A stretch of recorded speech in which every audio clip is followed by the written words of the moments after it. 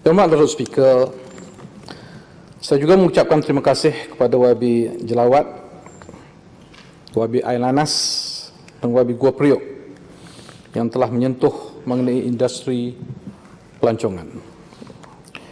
Aspek kebersihan di lokasi yang menarik telah mendapat kerjasama baik daripada pihak PBT, pihak berkuasa tempatan untuk diberi keutamaan di tempat-tempat yang menjadi tumpuan pelancong domestik ataupun antarabangsa.